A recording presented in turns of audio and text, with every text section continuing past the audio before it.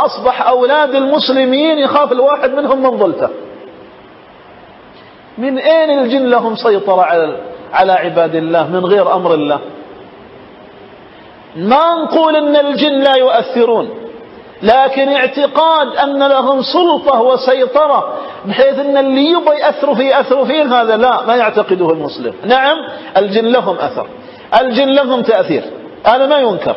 ولكن نعتقد أن ذلك بأمر الله وحده. ولا سلطان لهم على أحد أبدا. والمسلم بهذه العقيدة يمشي مطمئنا واثقا أنه وإن وضع كل الوقايات وكل الحصون الحصينة أمامه ليقي نفسه من قضاء الله وقدر من يستطيع. ما للجن. النبي صلى الله عليه وسلم يعلمنا بأخلاقه وسلوكياته إن هذا حتى في الأشياء العادية. يمر النبي صلى الله عليه وسلم تحت جدار مائل فيسرع الممر. قال من الممات فجأة أخاف وذا صحيح ما به خلاف.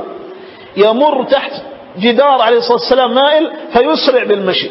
فيقول له صحابي من صحابته الكرام قال يا رسول الله أتفر من قضاء الله؟ يعني إذا كان بيطيح مقدر ربك أنه يطيح عليك بيطيح عليك.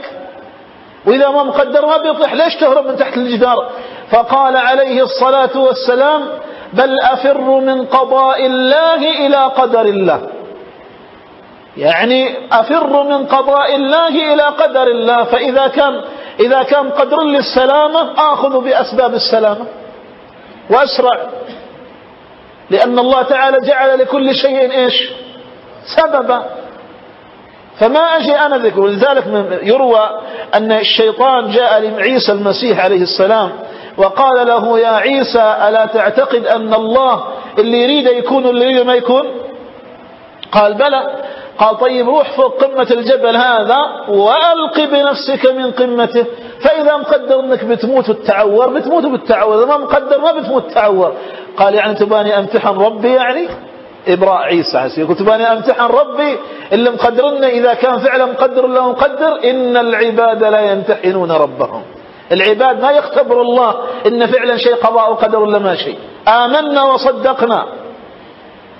فأقول هذه الفكرة فكرة أن الجن يعني لهم سيطرة على العالم ولهم هيمنة على الناس. لا. هذه ليست من عقيدة المسلم. بل إن المسلمين أصلا ما كلهم متفقين إن الجن يسيطر المعتزلة مثلا مذهب من مذاهب المسلمين. المعتزلة هذيل عقلانيين يعني يعتمدوا على العقل. يقولوا إن الجن هذا لا, تأثير لهم على البشر أبدا. ولا يتمثلون للناس ما يظهرون لهم أبدا. تعرفوا إيش نتيجة هذه العقيدة؟